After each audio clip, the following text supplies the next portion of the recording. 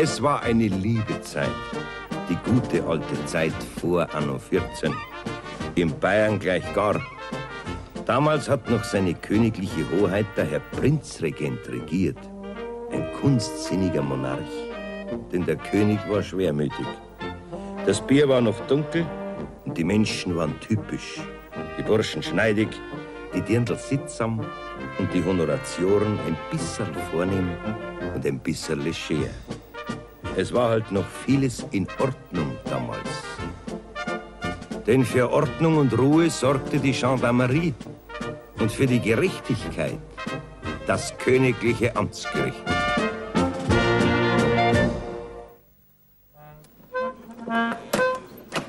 Ja, ja, sowas. Meine arms Drehorgel, jetzt geht's gar nicht mehr. Alter, bleibt hängen. Heute geht es um eine peinliche Intimität.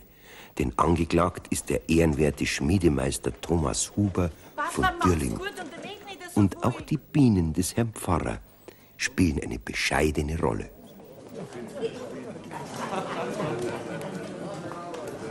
Ich bitte um Ruhe. Da schauen Sie, Herr Rat, was man mit mir gemacht hat. Meine niegelnagelneue Drehorgel hat mir zusammengekaut, total zusammengekaut. Da sind keine zehn Töne mehr drin in dem Instrument. Ach was, die lässt sich überhaupt nicht mehr spielen. Nummer 8, mein Herz, das ist ein Bienenhaus. War eingeschaltet, wie der Wüstling, der Unverschämte, mit seinem großen Schmiedhammer dahergekommen ist und dreikaut hat, dass gerade so die Fetzen geflogen sind. So ein Rohling. Ein typischer Tierlinger halt. Die haben überhaupt keine Kultur. Mein schönes Instrument, wenn ich so volle Harmonie gehabt hab. Ja, schon gut, Herr Kläger. Glaub's Ihnen? Triangel ist kaputt, nicht wahr? Schaut drum, jetzt kommen Sie aber mal her und erzählen Sie mir den Hergang. Hergang? Ja, da gibt's nichts zum Erzählen, Herr Rat. Der Mann da spinnt. Man hat doch nicht einen fröhlichen Musikanten, der wo an nichts denkt, als wie an seine Melodie, mir nichts, dir nichts, sein Instrument zusammen. Nein, das tut man normalerweise nicht. Darum wollen wir ja die näheren Umstände erfahren. Deswegen sind wir ja da, Engel. Ja, Herr Rat, der hat ja gar keine Umstände nicht gemacht. Der hat einfach gleich reingeschlagen. Meine schöne, niegelnagelneue Triorgel. Da sind keine fünf Töne mehr drinnen. Barbar! Holt's mal. Herr äh, Kläger, jetzt lassen Sie mal bitte den Angeklagten einstweilen in Ruhe und erzählen Sie mir, wie es nach Ihrer Meinung zu der Harmonievernichtung da gekommen ist. Kommen Sie her da. Ewig schade um das schöne Instrument, das so eine voll klingende Harmonie gehabt hat. Ja, Herr Engel, das haben Sie jetzt schon mal gesagt. Weiter? Ja, und die Bässe, die waren besonders stark. 57 Mark hat's gekostet aus zweiter Hand. Der vorige Besitzer, der hat im Gefecht von Bad Seiles seine rechte Haxen verloren und ist halb vor dem Hofbräuhaus geguckt. Und von dem seiner Witwe hat's erst vor vier Wochen meine Frau aus München mitgebracht, wie sie einen Korb voll Birsten verkauft gehabt hat. Ich hab einen mordsfrei gehabt an dem schönen Instrument. Und der Thüringer Drehkamp mit der Schere haut mir's zusammen. Hoi, hoi, hoi, hoi. Sagen Sie mal, wie stellen Sie sich eigentlich den Vorgang der Verhandlung vor? Bei allem Wohlwollen, aber so geht's nicht. Engel. Und im gesamten Bezirksamt Geisbach habe ich aufspielen dürfen. Ja, das hat sich das Geschäft gleich besser anlassen wie jede Bürstenbinderei. Acht Nummern habe ich drauf gehabt. Und in jedem... Ja, Sie reden und reden bloß nicht das, was ich brauche. Es hilft mir nichts, wenn Sie andauernd bloß von Ihrem Gewerbefleiß und von Ihrem Instrument erzählen, Engel. Schon, Herr Amtsgerichtsrat. Aber Was aber reden halt, Engel? in jedem Bauernwirtshaus ist die Stuben voller Leid geworden, wenn ich mit meinem Instrument das Aufspielen angefangen habe. Ja, da sind sie gerade so dahergekommen, die Herren Ökonomen. Und die Wirtin von Dürling zum Beispiel, die hat mir schon ins Ohr geflüstert, Invalid hat's gesagt, die ganze Zeit, alles was trinkst und isst, hat's gesagt, brauchst nicht zahlen. Ja, und ich soll nur recht fleißig kommen und recht fein aufspielen, hat's gesagt. Sie, Engel, gleich spiele ich Ihnen fein auf, gell? Ja, hat's gesagt, die Frau sitzt doch draußen als Zeugin. Schluss, Engel, wenn Sie sich nicht auf das Wesentliche beschränken können, dann verhandle ich hier einfach nicht weiter. Ne? Dann können Sie mit Ihrem musikalischen Kleinholz da hinten ohne Rechtsspruch abziehen, gell? Jawohl, Herr Rat. Weiter. Ja, aber man muss das auch bedenken, dass ich ein Invalid bin von 1870, der wo in Sie dann dabei gewesen bin, wo wir Napoleon gefangen haben und da wo ich meinen steifen Haxen her hab. Herr, schenke Was kriege ich denn für Rente? Schenke mir Geduld und Fassung. Herr, Herr Kläger, setzen Sie sich bitte. Nein, nein, ich brauche keine extra Würst. Wenn es um meine Gerechtigkeit geht, dann kann ich auch stehen. Naja, 58 Mark ist ja letzten Endes auch kein Dreck, nicht? Sie können sich's offenbar nicht vorstellen, Herr Ingel, aber deswegen sind wir ja beieinander. Wenn Sie Anspruch auf Ersatz Ihres Verlustes haben, dann kriegen Sie ihn. Aber zunächst einmal bitte ich Sie, inständig Platz zu nehmen und im Weiteren nur auf meine Fragen zu antworten. Sie können dabei sitzen bleiben, Ingel. Ah. Mein Nickelnagel, Drehholger. So, Angeklagter Thomas Huber, Schmiedmeister aus Dürling, treten Sie vor. Sie sind kein Invalid, gell? Im Gegenteil, Sie machen einen recht kräftigen Eindruck, so ein richtiger Schmiedmeister. Nicht? Jawohl, das ist er. Wo der hier hat, wächst kein Gras nimmer. Bitte um Ruhe da hinten. Hab ich Sie schon was gefragt, Ingerl? Nun, Angeklagter, vielleicht tue ich mir mit Ihnen ein bisschen leichter. Der Ingerl hat also mit seinem äh, Drehorgel da vor Ihrem Haus gespielt und Sie haben ihm dann sein fahrbares Musikalium zusammengehauen. Warum denn? Haben Sie plötzlich so einen Glusterer gehabt zum Zuhören? So aus heiterem Himmel einen unwiderstehlichen Drang? Sie können sich selber nicht erklären, das ist einfach so über Sie gekommen. Aber ich sag, der Mann spinnt entweder oder er arbeitet so boshaft wie der Teufel. Herr Kläger, bleiben Sie bloß in Gottes Namen sitzen Sie. Ich bin ja mit dem Lied noch gar nicht halber zu Ende gewesen. Da ist ja der Herr mit seinem großen Hammer und hat drei geschlagen wie ein Bauernstier. Herr Rat, wenn er wenigstens mitrufen hätte. Aber nein, meine Orchesterapparatur haut er mir zusammen. Ja, ich möchte wissen, was er davon hat. Na? Huber, wenn Sie so nett angesprochen werden, wollen Sie dann auch nicht antworten? Sie bockiger Bockschädel, Sie bockiger, hm? Ja, lass mir's gut sein. Nein, nein, 57 Mark lasse ich nicht gut sein. Und außerdem ist der Liebhaberpreis für das Instrument noch viel, viel höher. So eine Harmonie kann man mit Geld überhaupt nicht bezahlen. In Gottes Namen, ich soll in der Ruhe sein. Ja, das wäre recht einfach, aber wir sind ja mitten in einem Gerichtsverfahren. Da kann ich mit Ihrer an sich sehr schätzenswerten Zahlungswilligkeit noch gar nichts anfangen, nicht wahr? Beim Urteil komme ich dann schon darauf zurück. Ich kann doch jetzt noch nicht endgültig wissen, wie teuer die ganze Geschichte kommt, nicht? Ich muss erst einiges klären. Helfen Sie mir heute dabei, nicht? Warum haben Sie dem Engel seine Apparatur da zusammengehauen? Bitteschön. Wenn es Hat Ihnen das Lied nicht gefallen? Wer hatte da hinten schon wieder so viel Humor, ha? Verbitte mir dieses saudumme Gelächter, besonders wenn nicht einzusehen, was rumgelacht wird. Angeklagter, antworten Sie heute endlich. wenn es ihm schon soll sein Klump. Mei, mei, mei, ich habe Ihnen doch gerade expliziert, dass ich jetzt noch nicht weiß, wie teuer das kommt. Also gut, wenn Sie nicht mögen, dann probieren Sie es nochmal mit dem Kläger. Setzen Sie sich, bitte Für schön. mich ist der Mann spinnert und total unmusikalisch. Ich habe eines meiner schönsten Lieder eingestellt gehabt, die Nummer 8. Das schöne alte deutsche Volkslied. Mein Herz, das ist ein Bienenhaus. Die Mädchen sind darin die Bienen. Sie fliegen ein, sie fliegen. Ruhig. Herr Herr Kläger, das ist gut. Also kein Beifallsgelächter da hinten. Das Lied kenne ich. Ruhe, bitte. Ja, bis dahin bin ich gekommen. Und dann ist er daher mit seinem großen Hammer. Ja, das können wir allmählich als äh, bekannt voraussetzen. Setzen Sie sich. Na ja, probiere ich es halt noch einmal mit dem Angeklagten. Komm was her. Herr Huber, jetzt sagen Sie mal, warum mögen Sie das Lidl nicht? Ist es nicht Ihr Geschmack? Äh, sind Sie geschamig? Humorlos? Unmusikalisch? Das nicht. Ich singe im Kirchenchor Tenor und blase in der Kapelle Alpton. Ich mag halt das Lied nicht Sakramut. Ja, ja, ja, na, na, na, gar, nicht gar so temperamentvoll, nicht? Setzen Sie sich. Von dem kriege ich keine Erklärung, von Ihnen kriege ich keine Erklärung. Ja, wo soll ich es hernehmen? Da muss ich sie mir halt von dem Sachverständigen zu verschaffen versuchen. Wachtmeister, rufen Sie mir bitte den Herrn Professor Radlinger herein. Den Herrn Professor von der Irrenanstalt Meindelkopf. Wohl? Mein Professor, alle mal lesen. Da kriegen sie gerade schlechte Augen. Da ist mir auf einmal hochwertend schon lieber als wie so ein Professor vom Meindelkopf. Ja, ja, der erklärt jetzt nachher unseren Schmied für narrisch. Mein Professor, wenn's du die Wahrheit wisset. Das duld ich aber nicht, dass der Schmied einen Paragraphen kriegt. Gewisse leichtsinnige Weiberleid kehrten da schon eher vor Gericht. Herr Professor, kommen Sie, Herr Professor, wir sind dran. Sofort, ja. Die- Grad gut, dass wir jetzt Meindelkopf jetzt das Narrenhaus haben. Der Professor erklärt an jeden für narrisch. Da pass auf, Frau Ursula, da wird jetzt nachher unsere Spassetteln billig. Du Dürlinger Saubär. Auch diese vierte Stufe der Paranoia scheidet aus. Paralytische Reduktion des gesamten Sensoriums habe ich mit meiner Methode deutlich nachgewiesen. Vulgär ausgedrückt oder für Juristen allgemein verständlich, der Mann ist total verrückt.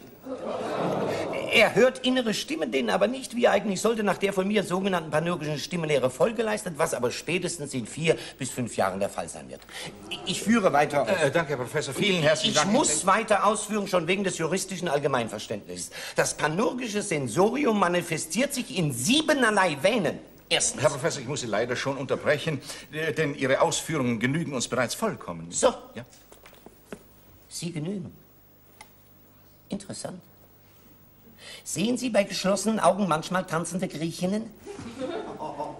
Tanzende, was? Griechinnen. Herr Professor, ist kein Ort für Scherze, auch nicht für wissenschaftlich-medizinisch. Ich mache keine Scherze. Ich bin der Direktor einer Landesirrenanstalt. Außerdem bin ich ein Schüler jenes Dr. Gutten, der zusammen mit seinem königlichen Patienten Ludwig II. im Starnberger See ertrunken ist. Ich verbitte mir jede scherzhafte Unterstellung. Gerade die Gerechtigkeit kommt ohne meine panurgischen Wahnvorstellungen nicht zurecht. Sehen Sie hier diesen äußerlich so gesund erscheinenden Dorfschmiedemeister. Sehr gesund, nicht wahr? Hier. Und auch hier.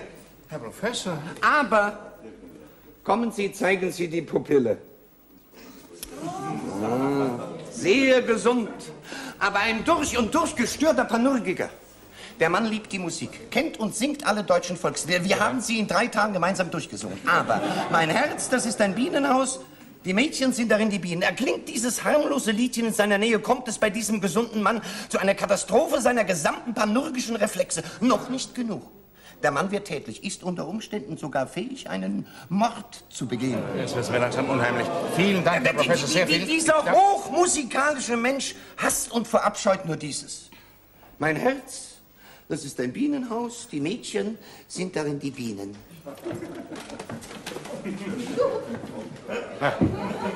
Sie fliegen ein, sie fliegen aus. Haben Sie diese spontane Reaktion des Patienten beobachtet?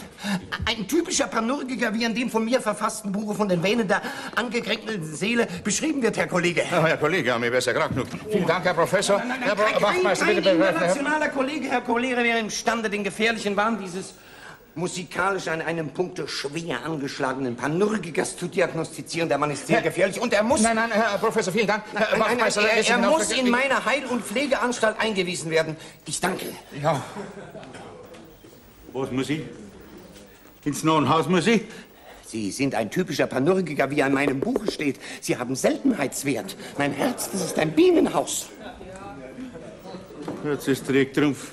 Das war mein erster und letzter Versuch, mit Hilfe eines sachverständigen Gutachtens aus Meindelkopf zu einem Urteil zu kommen. Muss jetzt ins Nonnenhaus? Nein, schauen Sie, ich habe ja bloß gedacht, aber wenn man schon mal denkt, das ist schon verkehrt. Ja, da wären mir ja gleich meine Dürlinger und Kirchenzeller wieder sympathisch. Wachtmeister, rufen Sie mir den Zeugen Corbinian Kottmeier herein, bitte. Der Zeuge Kottmeier Corbinian. Jawohl. Was sagen jetzt Sie, Haberkorn? Da hörst jetzt einmal so einer psychiatrischen Koryphäe bloß fünf Minuten lang zu und dann spürst du selber schon so einen panurgischen Reflex. Hm? Ich kenne das, Herr Rat. Herr Rat, bedeutet das, dass er nichts zahlen muss? Was von Zahlen ist überhaupt noch nicht die Rede. Ja, doch, doch, ich rede ja nur davon. Und überhaupt, wenn er nicht zahlen muss, dann müssen die Thürlinger zahlen, die haben ja einen aufgeschickt zum Schmied. Wie?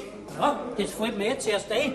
Die Bart sind die Schlechten. Ja, und der Kutmeier vorn dran, der hat zu mir gesagt, in Verlied hat er gesagt, du hast fünf Mark, du gehst jetzt rauf zum Schmied und steigst dir auf die Schmiedbrücken und spielst mit deinem Instrument das Lied vom Bienenhaus, hat er gesagt. Und wenn's das Zehnt spielst, hat er gesagt, dann kriegst du noch mal fünf Mark. Was? Alle, die haben ja das gewusst, dass der Schmied spielt und das Lied vom Bienenhaus gar nicht mag. Was haben Sie da? Na, na, na, natürlich haben die das gewusst. Der hat mir sogar noch nachgeschrien. Der Schmied mag vielleicht das Lied vom Bienenhaus nicht so gern, hat er gesagt. Aber vielleicht die Schmiedin umso lieber. Was hab ich? Der Zeuge Kottmeier Corbinian, Bürgermeister und Ökonom zu Dirling. Ja, du Lump, du Schlechter, du hast mich mit Preis mit dem Lied aufgeschickt zum Schmied. Jetzt musst du zahlen. Von dir krieg ich 80 Mark. Eha! Von dir krieg ich sogar 90 Mark. Was sind denn das für neumodische Breit, dass man als Zeuge vor Gericht jetzt selber zahlen müssen? Zeuge Kottmeier, Sie wissen um die äh, Erkrankung des Schmiedes, ja? Ha? Wie lang ist denn der gute Schmiedmeister schon leidend? Leidend? Der und leidend. Da fällt schon eher mir was. Ruhe. Kottmeier, halten Sie mich nicht für einen Trottel. Das hat vorhin schon der Professor Erlinger probiert, gell? Sagen Sie mir die Wahrheit. Sie wissen um die Krankheit des Schmiedes und Sie haben den Kläger Stiftal angeengelt. Lapsus panurgicus. Den Kläger Ingerl angestiftet, dass er in dem Schmied die Raserei weckt und damit selber das Opfer dieser Raserei wird. Nicht? Und das haben Sie zu Ihrer Gaudi gemacht, als Thüringer Volksbelustigung. Na, ich hätte euch kennen sollen, gell? Ja, no, Herr Rat, ein Spaß ist überall erlaubt. Für solche Späße habe ich kein Verständnis. Pfui Teufel noch einmal. Jedenfalls steht fest, der Schmied ist seelisch krank, nicht? Hat Ihnen das der Professor von Mendelkopf aufgeschwatzt? Das glaube ich, das Mendelkopf spinnt ja jeder. Respekt. Gell? Der Professor Radlinger ist immerhin ein Schüler des Professor Dr. Gutten. Und der hat unseren Kini ins Wasser getrieben. Und der Schmidt Thomas ist pumperlgesund. Pumperlgesund? So war ich Bürgermeister von Tierling bin. Ha? Und was ist nachher mit dem panurgischen Reflex? Warum mag er denn das Bienenhaus nicht? Ha? Ja, no. Er mag halt das Lied nicht. Ja, und warum hat er mir mein Onkel erschlagen, den ich wahrscheinlich für einen glatten Hunderter nicht mehr krieg? Da ist einmal der anderes Lied vorgespielt. Er ist ja sehr musikalisch. Aha. Und nur dieses eine Lied, mein Haus, das ist ein Bienenhaus, das mag er nicht. Das mag er nicht. Warum mag er denn das nicht? Ja, fragen Sie ihn halt selber. Angeklagt, ja? Kommen Sie mal her zu mir. So, kommen Sie näher und ein bisschen geschwinder, kommen Sie ganz her zu mir. Sehen Sie mir in die Augen. Mein Haus, das ist ein Bienenhaus. Die Mädchen sind darin die Bienen. Lassen Sie es gut sein, Herr Richter, sonst rutscht mir noch die Hand aus. Sakramut! Ganz klar, panurgischer Reflex. Ja, der Mann ist verrückt, total. Setzen Sie, setzen, setzen. Ja, also wenn ich von den Männern die Wahrheit nicht erfahre, dann muss ich es mir halt von der größten und ergiebigsten Auskunftei in Dürling holen, von der Pfarrhaushälterin. Wachtmeister, rufen Sie mir bitte die Zeugin Ursula Attenberger. Die Zeugin Ursula Attenberger. Jawohl. Schuld dran sind ja niemals die Mannsbilder. Schuld dran sind immer gewisse Lausderndeln, die wo sich noch was einbilden, wenn ihnen die verheirateten Männer nachlaufen. Aber dass das die größte Sünde ist, wo es überhaupt gibt, wenn sich eine mit einem verheirateten Mann hineinlässt, das predigt unser Herr Pfarrer viel zu wenig. Mei, Schmidin, das tut mir schon leid. Wieso? Aber eigentlich geschicht's dir recht. Ich hab dir vor 15 Jahren schon gesagt, du sollst ins Kloster gehen. Aber na, einen Schmied hast du nehmen müssen. Jetzt hast du ihn. Die Zeugin Ursula Attenberger, Pfarrhaushälterin zu Thürling. Jetzt musst du ihn haben. Ja, ja, die guten Bienen, sonst sind wir Menschen allerweil die Sünder. Ich bitte um Verzeihung, Schmiedi. Ist schon gut. Ihr seid genug gestraft worden. Also, Herr Richter, wir haben 25 Bienenvölker im Pfarrhof, seitdem wir die Ökonomie verpachtet haben. Den die Hähner habe ich ja schon voriges Jahr. Ich weiß, ja, ja. Jetzt haben wir also nur noch diese 25 Bienenvölker. Aber diese Bienenvölker sind ja viel zu wenig. Weil so viele Bienen kann ich ja gar nicht halten, was in Dürrling gesündigt wird. Meinen Sie vielleicht, der Schmied Thomas ist der einzige schwere Sünder in Dürrling? Nein, in jedem Haus ist einer da.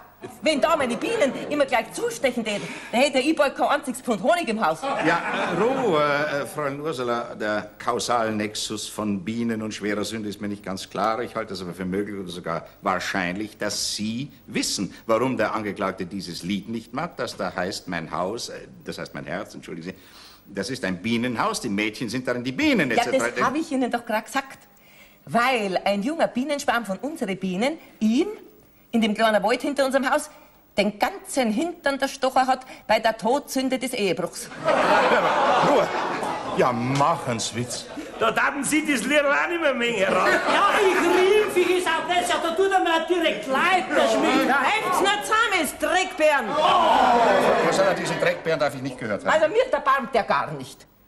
Unsere junge Bienenkönigin, Ja. die wo grad auf ihrem Hochzeitsflug hinaufgeschwebt ist in den Himmel, die hätte sie aber, als wieder runtergekommen ist, auch woanders hinsetzen können, nicht? Irgendwo in den Wald.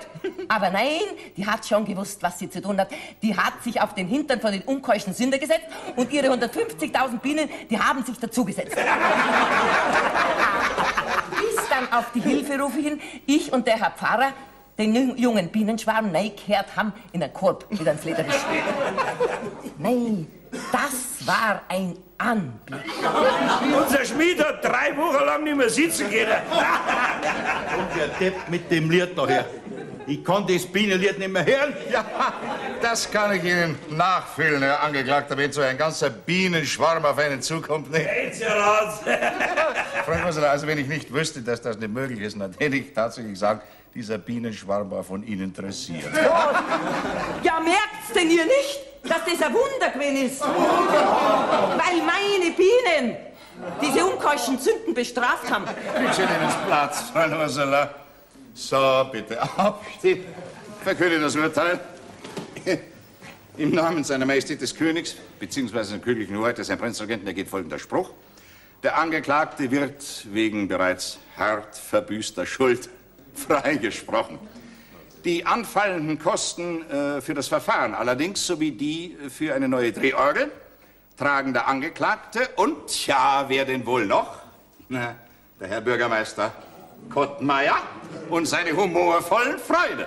Die Sitzung ist geschlossen. So, Kottmeier, auf der Steigerige von dir jetzt ein Hunderter. Sie sind äußerst gut, Herr Rat, wie mein Hochwürden. Gott sei Dank denken meine Bienen anders.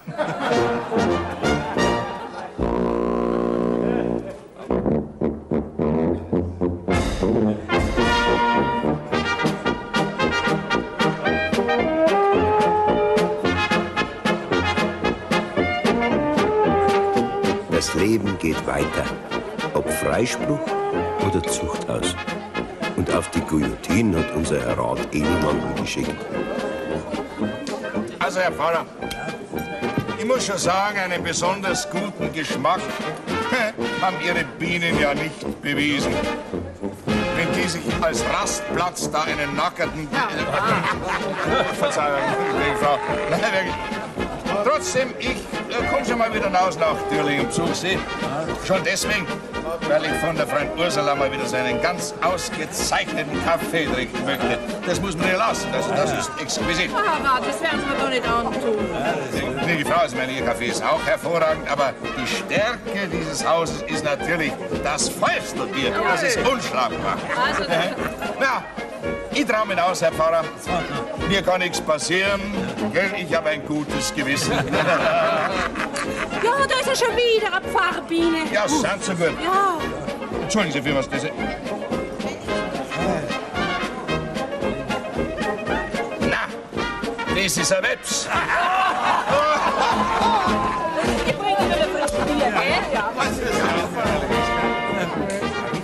Eine liebe Zeit, trotz der Vorkommnisse, menschlich halt. Und darum kommt es immer wieder zu diesen Szenen im königlich bayerischen Amtsgericht.